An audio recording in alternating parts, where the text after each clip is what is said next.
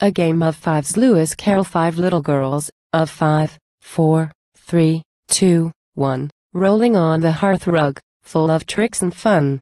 Five rosy girls, in years from ten to six, sitting down to lessons, no more time for tricks. Five growing girls, from fifteen to eleven, music, drawing, languages, and food enough for seven. Five winsome girls, from twenty to sixteen, each young man that calls, I say and quo. Now tell me which you mean. Ampersand quo. Five dashing girls, the youngest 21, but, if nobody proposes, what is there to be done? Five showy girls, but 30 is an age when girls may be engaging, but they somehow don't engage. Five dressy girls, of 31 or more, so gracious to the shy young men they snubbed so much before. Five passe girls, their age. Well, never mind.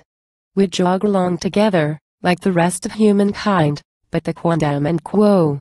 Careless bachelor and quo. Begins to think he knows the answer to that ancient problem and quo. How the money goes and quo.